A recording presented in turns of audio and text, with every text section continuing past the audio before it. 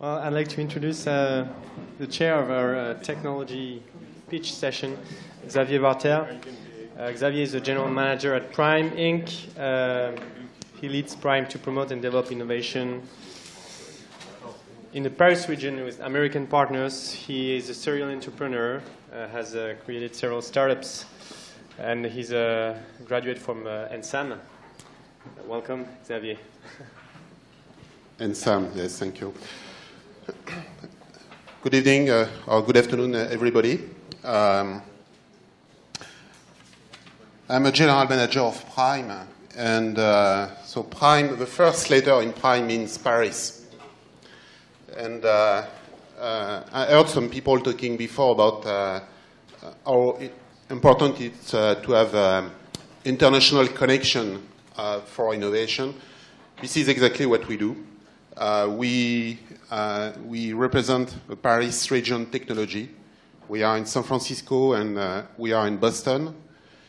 And uh, basically, we are doing two things. One is uh, to uh, foster innovation between two ecosystems, the Silicon Valley, Boston ecosystem, and the Paris region, to form partnership with research center in, in the Paris region.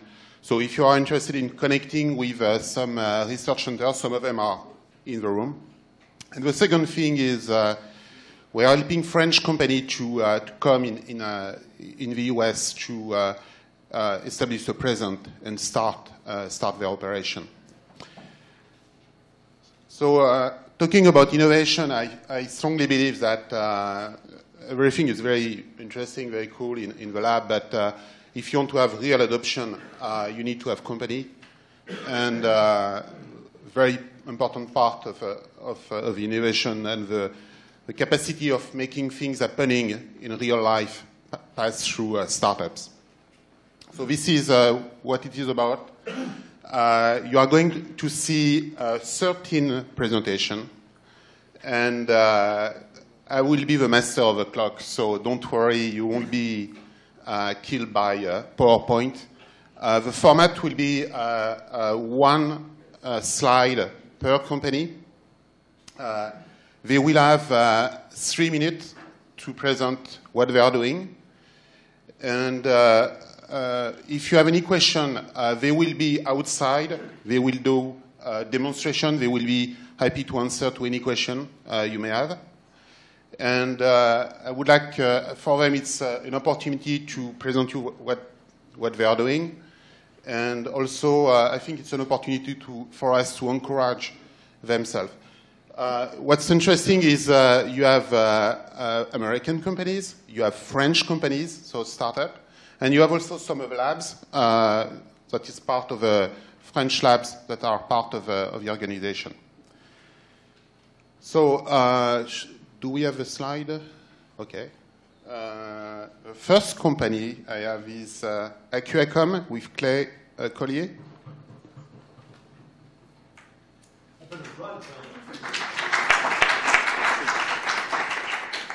Thank you very much. Um, okay, so we're fortunate in California to be in an environment to deploy some types of technologies. We have a couple advantages. One is we have a very dense population, 23 million people. You heard our friends from Fresno explain we're one of the largest agricultural districts in the world, and agriculture is a massive water user, which is a massive electricity user. And we have an environment of research that, if, that addresses the fact that we have this dense population with very high heat. So we've had demand response because we have Death Valley with 134 degree summers and the Los Angeles basin full of people. One of the other advantages we have is the visionary research capabilities of, in this case, Berkeley. There's a gentleman named Art Rosenfeld, who was a research physicist from Berkeley, won the Nobel Prize of the Luis Alvarez Group, and he retired from that to focus on energy. And he's focused on demand response, uh, energy efficiency, etc. He invented the high frequency ballast for CFLs. He created Title 20 and Title 24 and his vision for automated demand response enabled us to invent OpenADR, the demand response automation server, and the end to end technologies to fully automate AutoDR. So, in one minute, and I want to introduce someone for, for one minute to talk about our products. Um, what we invented was a demand response automation server that allows utilities to talk directly to commercial industrial buildings to shed load to optimize the grid. It's used for peak shaving, it's used for retail industry remediation, wholesale market participation, and most importantly, it's used to integrate renewables. Because when you bring on photovoltaics and wind, you're actually creating more instability in the grid. So it's a, it's a key tool for it. We're happy to talk to you about it out out there. Paul, do you want to spend one minute and talk a little bit about what Honeywell has done? It's acquiring Thanks, Clay. So I am Paul Karp uh, with Honeywell, and Akuacom is a Honeywell company, and Clay talked about sort of the backbone architecture, which is the automated demand response uh, server that, that Clay and Akuacom developed. So Honeywell is a Fortune 100 company that uh, is pretty well diversified, and we are in the automation and control uh, solutions group when we uh, manufacture energy efficiency products and uh, develop services for uh, approximately 60 utilities across the across the world. And these are in the fields of energy efficiency, demand response, and smart grid services. So um, if you have any questions, please feel free to, to visit us outside, and we look forward to, uh, to talking to you. So thank you. Very good, thank you. So the next company is uh, Artelys with uh, Laurent Fournier.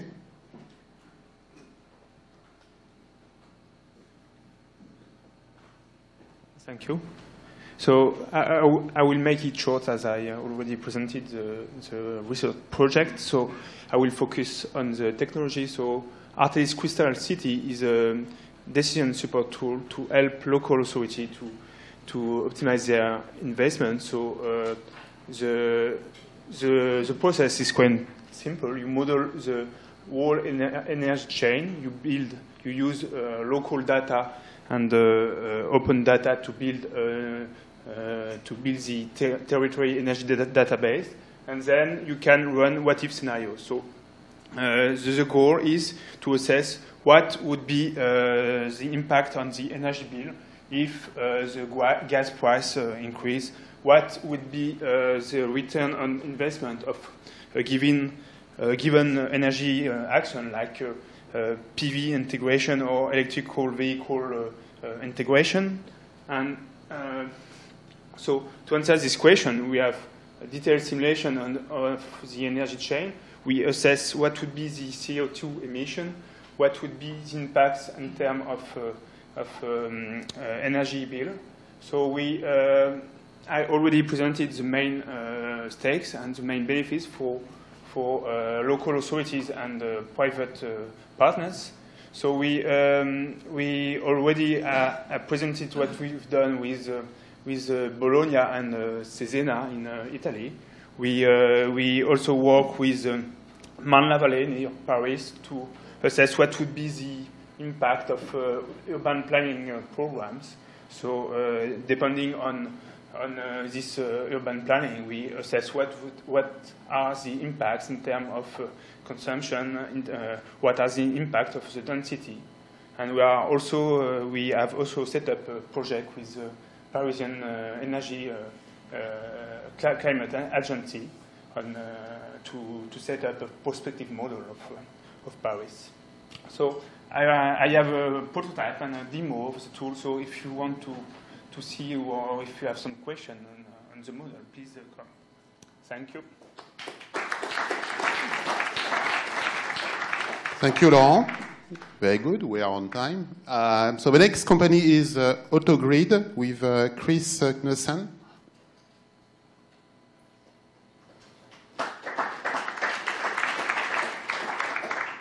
Thank you. Good evening, everyone. AutoGrid focuses on creating actionable intelligence from the vast amounts of data that we're collecting in the uh, in energy industry today and, and as it's growing over time. In order to do that, we've created an energy data platform. That platform has three major components. It's a massively scalable cloud based architecture. It integrates sophisticated analytics, optimization, and, ma- and machine learning to be able to process that data on an individual resource basis at real time. And it provides an interface that is scalable across many standards such as OpenADR, SEP2, uh, SEP1, ESPI, as well as many proprietary interfaces to provide a unified view of those resources into some of the solutions we build. Our first product is a turnkey demand response system. Uh, it's deployable in a matter of weeks. It has sophisticated uh, email notification system in it. It can manage the responses across that unified set of resources and then scale over time to add flexibility. We've currently deployed uh, the two that we've announced are the City of Palo Alto and SMUD, and we have many other um, utility partners that we're in trial with. We also work closely with industry partners. Our system can be uh, purchased and used on a turnkey basis. It can also be broken down into components such as an individual forecast engine or an OpenADR server or an SEP server, and then those can be white labeled and integrated into partner portals and programs. Uh, so we'll integrate with uh, numerous smart grid vendors uh, or system integrators, which may use the entire system. And then we, we, uh, our targeted customers are typically aggregators or utilities and munis, as well as uh, uh, integrators in, in, the industry. Thank you. Great. The next company is uh, Cloudbeam with uh, Tristan de Fonteville. Merci, bonjour. My company is Cloudbeam. That stands for Cloud Building Energy Asset Management. We say asset management because we will soon be coming out with an irrigation controller to do water, but we started with electricity and water, uh, excuse me, and uh, HVAC systems. So what you're looking at is uh, two devices, the smart plug and the dimmable lighting controller, which is also a hot water heater controller. So that dims devices and everything that we have, we are a platform, a device management platform.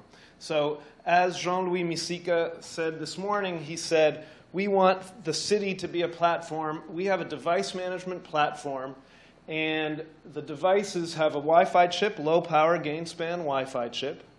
They have our firmware on it. Every five seconds, they deliver a heartbeat up to our cloud server. So all somebody has to do is put one of those devices onto their Wi-Fi network, and it instantly starts heart beating its status every five seconds to our server, and we can send controls down back to the device. So we get sub-metering. There's a sub-metering chip in every device. We get sub-metering and control and monitoring.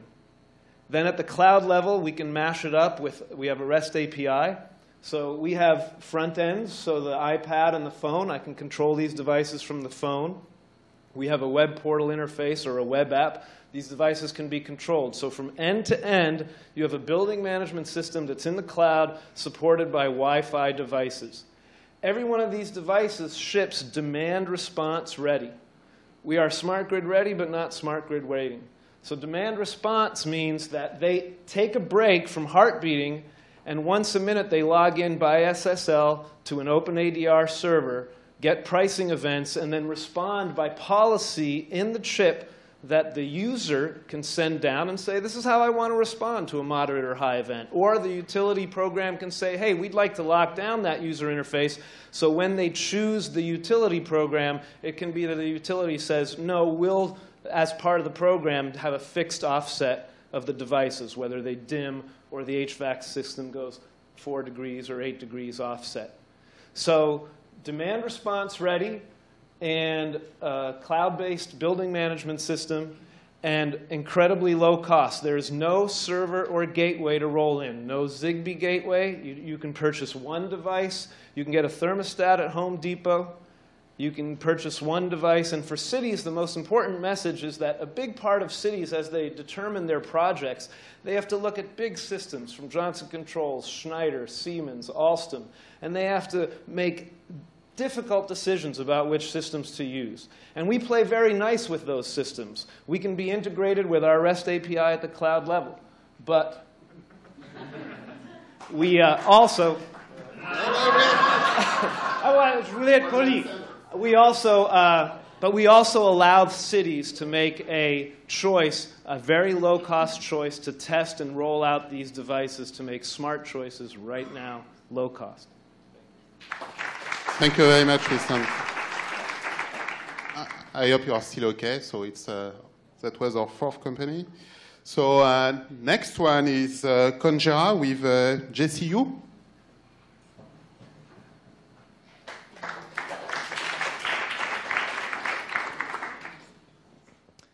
Hi, thanks for having me. My name is Jesse. I'm from Cogenra Solar. Um, Cogenra Solar provides a solar cogeneration system that produces uh, electricity, heating, and cooling at 75% efficiency to commercial customers with five-year payback or less.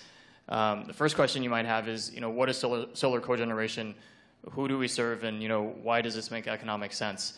So, there's lots of sunshine hitting any hitting the buildings out there, and there's generally two things we can do with the sun. We can either make electricity or we can make heat.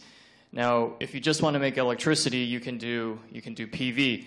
The issue with PV is that it's low efficiency. Um, you start with a 19% efficient cell, and after some losses in cable and inverter and soiling, et cetera, you'd be pretty lucky if you're getting 15% efficiency from a PV panel at the AC kilowatt hour level. It's very similar to an incandescent light bulb. Now, on the other hand, uh, what's the issue with just making heat? If you just want to make heat, you can do traditional solar hot water. The biggest issue with solar hot water is that heat is low value. In California, most commercial customers are paying about 50 to 90 cents a therm, which is roughly 3 cents a kilowatt hour. So heat is worth about a fourth of electricity. So even though solar hot water is making a lot of heat, um, it's not as valuable. What solar cogeneration does is we marry the two and combine the best of both worlds. So solar cogeneration is high efficiency and high value. And typically that manifests itself in a five year payback or less for customers. Um, your next question might be okay, so sounds interesting. Who needs solar cogeneration? Um, it's anywhere there's people. As anywhere there's people, you need heat and electricity um, to do various things such as shower, wash dishes, do laundry, sometimes even heat up a uh, indoor swimming pool. Um, anywhere there's people, you also need to eat and you need to drink, and everything that we eat or drink from uh, vegetable, fruit, uh, dairy, meat, etc., needs lots of heat to either cook, blanch, sterilize, or pasteurize. And so solar cogeneration can provide uh, heat and electricity to all the customers mentioned above, and those would include hotels, apartments, office buildings, um, any type of food and beverage processing facility. So, for example, uh, Facebook is using our system for their gym as well as their cafeteria, um, and it could be used for their um, data center for cooling as well. Um, all three branches of the U.S. military is also using our system mostly for, um, for, for showering and, and, uh, and also electricity at the bases. Um, Intercontinental Hotels is another example. We have a booth outside, and uh, we'd be happy to answer any other questions you might have. Thank you.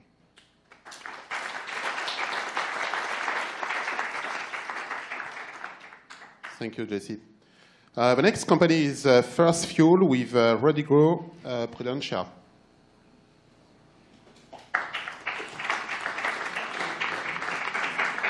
Thank you. Uh, my name is Rodrigo Prudencio. I'm uh, actually a partner with Nth Power, uh, which is a venture capital firm in San Francisco, but we are the lead investor in this Boston-based company called First Fuel. Uh, what First Fuel is is a developer of a software platform that we believe delivers the first of its kind scalable um, customer engagement model for commercial energy efficiency uh, or, or, energy efficiency in commercial buildings of, of all sorts.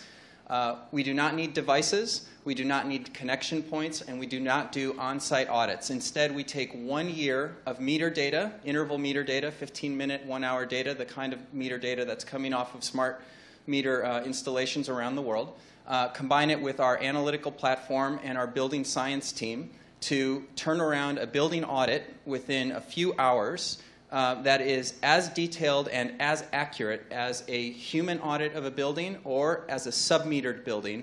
Um, and we've done this side by side comparison testing with buildings that have uh, uh, had had both those experiences, and that's been verified not only by uh, independent um, uh, analysts that are hired by utilities, but also by the Fraunhofer Institute. And you can see some of the results from that study uh, on the company's website. Uh, the target customers are utilities who are spending billions of dollars in the U.S. alone to engage their customer base uh, around uh, energy efficiency, um, uh, plat- sorry, energy efficiency programs. Uh, there's been a lot of attention, as you know, in the media about companies like Opower who are focused on the residential market. But I'll tell you, the residential market is 20% of that spend. The rest of that market is, be, is, is dollars that is flowing into uh, engaging commercial buildings uh, of different sizes, uh, different kinds of customers. Um, and we believe that that is a fantastic market opportunity for this type uh, of platform. The second place that we're engaging is with uh, energy service companies who have fleets of buildings that they service, but it's very difficult uh, to send in people, contractors on a regular basis to understand what's going on inside of those buildings. We can do that with a no touch approach.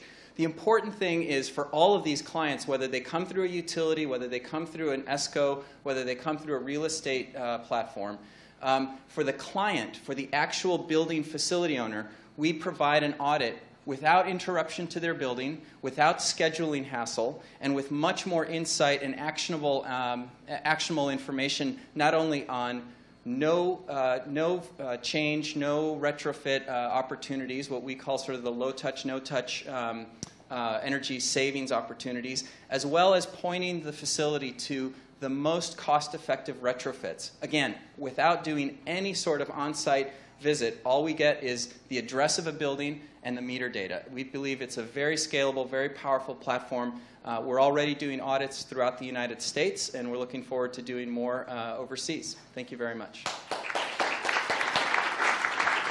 Thank you, Rodrigo. The next company is uh, Green Communication with uh, Khaldoun Al Agha. Sorry for the miss. Thank you very much. So, uh, Green Communication Companies is selling products to provide wireless and uh, wireless network access. Uh, the, so the market behind uh, uh the wireless access is uh, several billions of, of, dollars. However, I mean the, the, the form of the wireless access that we provide is more mesh and ad hoc. And the existing um, mesh networks today, they suffer from the, the, the, quality of service, the missed quality of service, and also they, uh, they, they have problems on divergence, especially when you have big density, for example. So people they cannot access because they are, the density is, is, is high. So uh, after 10 years of research, uh, Green Communication brings a solution for that. So we provide uh, accurate uh, uh, channel estimation, and then we, we make reservation for clients, and we also redistribute the unused reservation. We, we, we, we have also an, another added value is the energy saving. So we, we develop the start and stop function. All the devices that are not useful for the network, they are going to turn off. And in that case, you could save about 30% of the energy. And also, you, you drew, you, you, as a conclusion, you, you reduce also the uh, electromagnetic field pollution.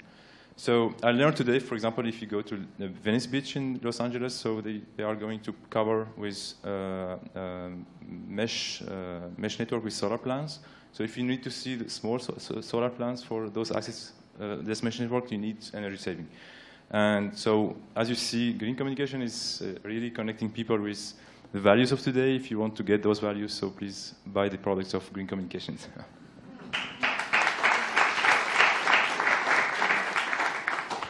Thank you, Khaldoun. So the next one is uh, a research institute from uh, uh, uh France. So it's called IFSTTAR with uh, Rashida Shakir.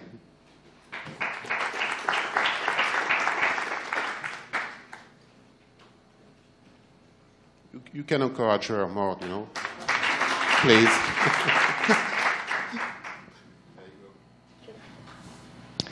So, drinking water purification strategy requires the knowledge of the concentration of chloride in the ore water network distribution.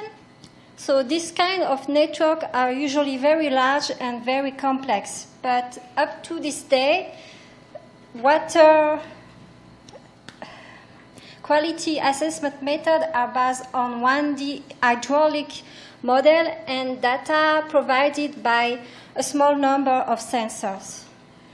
Those 1D models are well known to provide inaccurate outputs, and they cannot be reliable for decision making by water network manager. So we have developed a 3D numerical tools that allow us to reconstruct um, data field for a vast water network with a very good accuracy.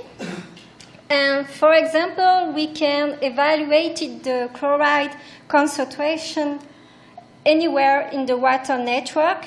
This could be very useful, for example, if you want to prevent and control drinking water contamination, or also if you want to detect uh, a leaking pipe. So the main advantage of our, of our approach is that we are able to have a real-time simulation. This is thanks to very advanced um, reduction models tools. So we have successfully used this tool for a small neighborhood in Versailles near Paris. So here we can see an example of the reconstruction of the velocity field in a junction pipe. We are also working on an implementation for the city of Cannes in the French Riviera. And the main goal is to have a final tool that we work on mobile devices and we work also for an, an, an entire city and this in real time. So the main target client will be the district community and this project is also in collabor collaboration with uh, Suez Envir Environnement and Advitam, A3IP, and ESIEE Paris. So if you have any question or if you want to see a small demo, I will be outside uh, with uh, the others. Thank, thank you. Uh, thank you, Rashida. I think I will remember uh, if you want to do a, a trial in Cannes and Versailles, you can follow our path. That's pretty cool. Uh, the next company is uh, Maxim Integrated with uh, Dave Undin.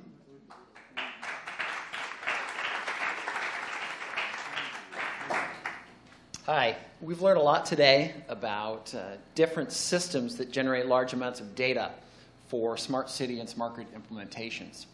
And at the foundation of each of these systems are critical devices that provide the data for each of these smart cities and smart grids. At Maxim, we are an analog mixed signal semiconductor company providing the core building blocks for smart meters, grid distribution automation infrastructure, and a variety of other smart grid devices. Our core areas of expertise in smart grid applications are accurate measurement, complete security, and robust communications. We're here today to discuss our products. We've got a demonstration out in the reception area, and also to learn more about the applications and trends that you're seeing in your space and how we can add value to your products. Thanks, and I look forward to speaking to you.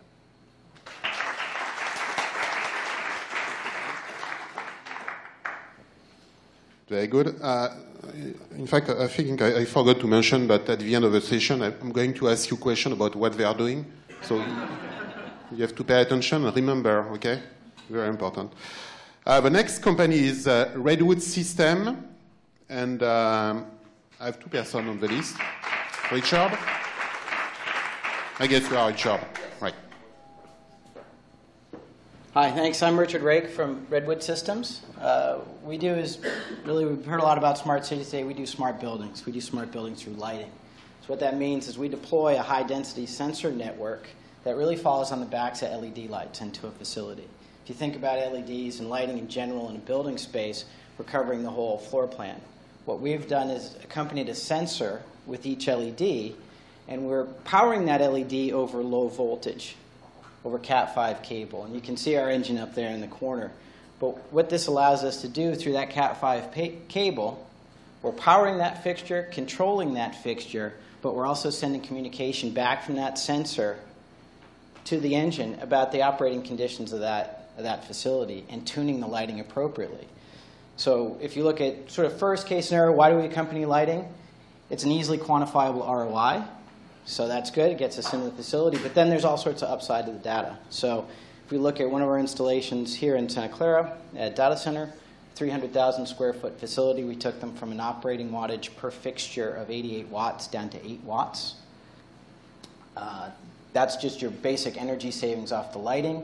If you start thinking about all the other data that's generated by our sensors in terms of occupancy, daylight, and temperature, if you look at another one of our customers, SAP, SAP is now using that occupancy data to better inform its HVAC system and integrate that into its set points and what areas should be heated or cooled. The other part of occupancy data, which I think is perhaps most interesting and perhaps doesn't tie into energy savings per se as we know them, but is about the occupancy and the spatialization of a building. So if you take another one of our customers, Facebook, at its facility in Menlo Park, it's taken that occupancy data they didn't put in the lights, they just wanted the sensors.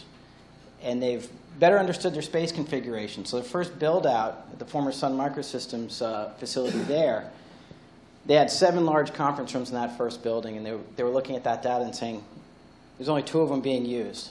So from every building at that point on, they did two large conference rooms, much smaller conference rooms, and then they're using the data in real time to schedule those conference rooms to better use, utilize that space in real time. I have a demo out here. I'd be happy to talk to you about it. And uh, thanks for having me. Thank you. The next company is uh, Silver Spring with uh, Michelle McLean.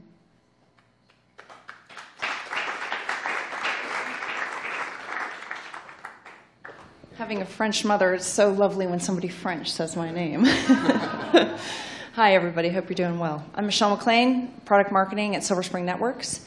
And what we're all about is building energy networks for today and evolving to the everything networks of tomorrow. People talk about this as the Internet of Things that's coming along.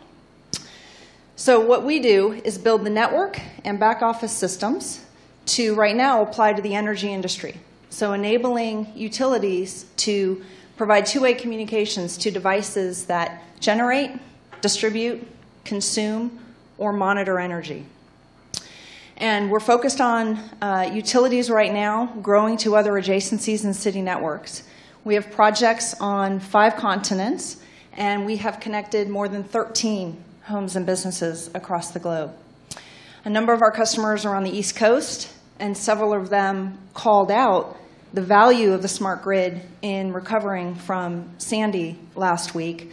We have a long way to go. There's a lot of education still needed uh, at the commission level, for example as to the benefits of smart grid. But we were really excited to see several of our customers complimented for the benefit that smart grid had uh, provided in speeding up their outage recovery and their power restoration services. So I talked a little bit about the fact that we do network and back office systems. So we have an IPv6 based network. Why does that matter? Open standards. We've always believed in the network effect the more stuff you can have on the network, the more valuable it becomes. So we've taken a partnering approach from the get-go with an open standards approach so that more devices, more software, more back office systems can be integrated with our technology. What are people using it for? So I talked a little bit about outage recovery. This is a really big deal. They, they can know when outages happen, especially if it's something widespread like Sandy, but often they don't know and they're still waiting for customers to call. So pinpointing where and when an outage occurs. And then more importantly, a crew's been to the area, they've done some restoration, but there's a notion of a nested outage. The crew looks around and the lights in their immediate area are back, but there can be another problem farther down the feeder line that they can't observe from there. They roll away and they have to go back. Time, money, down the tubes. Another big area is improved customer service when you have a lot of move in, move out. Berkeley is a great environment for this, right? People change over their apartments uh, at the end of term. Uh, utilities need an easy way to uh, know your bill at the time that you call to request your disconnect of service and have an easy way to turn it back on when somebody else comes in there.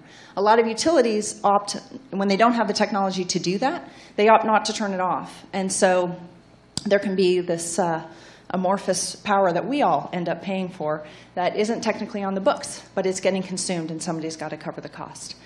Uh, there's also the notion people have been talking about data. There's a tremendous amount of data getting generated by smart grid. a lot of it is very useful being dedicated to the customer so that they can understand where and when they're using energy. So we're applying it to energy today, moving into adjacencies like streetlight controls in the future, and I'll be outside to answer any additional questions you might have. Thanks. Thank you, Michel. The next company is uh, Smart Impulse with uh, Charles Gouriot.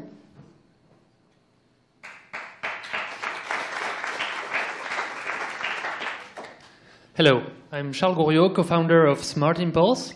Uh, Smart Impulse has developed the Smart Analyzer. It's a power meter able to identify the power consumption of each type of equipment inside a, inside a building for commercial buildings. So we can identify lights, computers, air conditioning, etc. And once we know the consumption of each type of equipment, at what moment they consume, it's pretty straightforward to identify energy and cost savings. So how does it work? We have been working on the technology for four years now, and um, so we, we have seen that we have measured that when we, you plug an electrical device on the network, it changes the form of the current. So we have built a database of hundreds of different signatures, and we have developed a patented algorithm that does pretty much the same as when you listen to an orchestra, you can recognize the different instruments playing. You can, you can make the difference between um, a clarinet, the piano, or the violin, uh, just as the same as we do the difference between different type of lights, um, air conditioning, or computers. Um, we've also designed the solution to be very uh, simple and non-disruptive to set up it could be installed in any commercial building in around, about two hours, and there is no need to turn off the power. Um, so the smart analyzer can be used for one month's diagnosis to get a snapshot of how the building is consuming.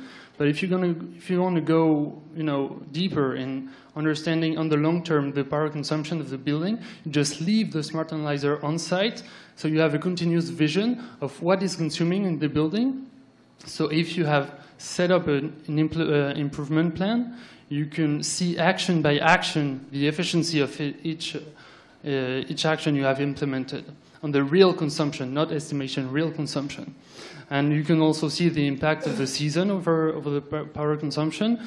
And finally, if there is any uh, consumption drift, you can be alerted immediately.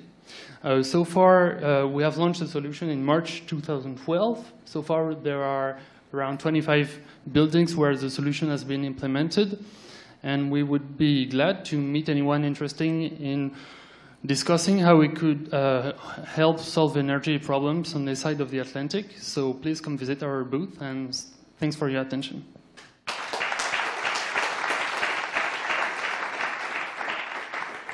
Thank you, Charles.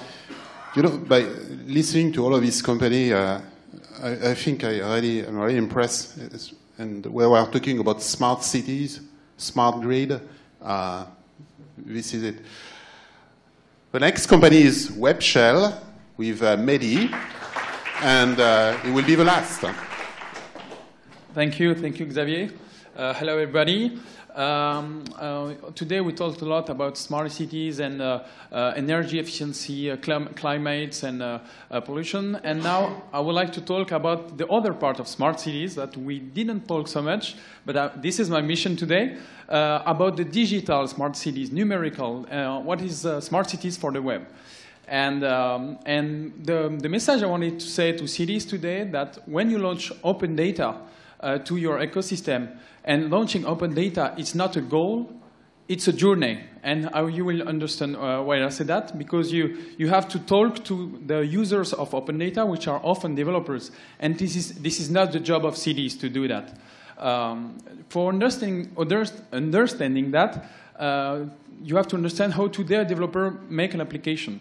Uh, today, when a developer wants to make an application, mobile or web application, he has to, to use a lot of data on the web. We call them web services. And today, uh, these web services are Facebook, Twitter, Foursquare, uh, Open Data of San Francisco, Open Data of Paris.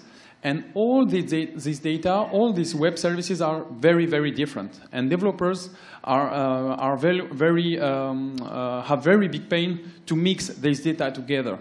Uh, and, um, and with all these, uh, developers use what we call APIs, Application Programming Interface.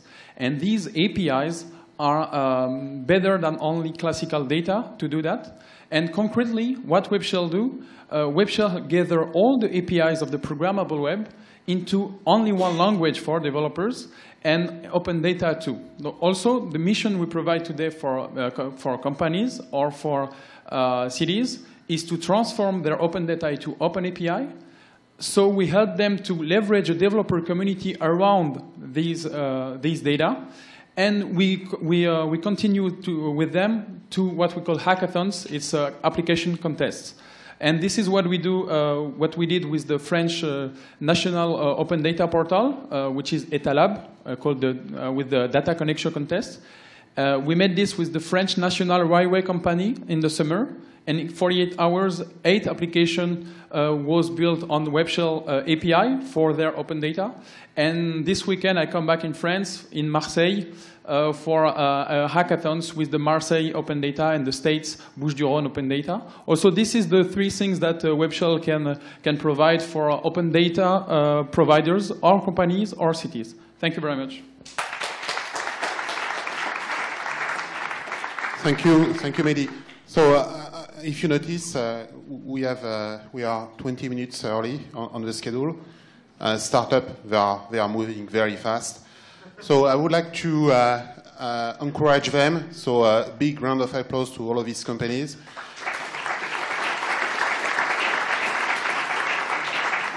And uh, remember, they want to meet you, especially if you are a potential customer. So if you are a big utility, or if you're a city, they will be outside, they will show demo, they will answer uh, your questions, so please meet them. Thank you.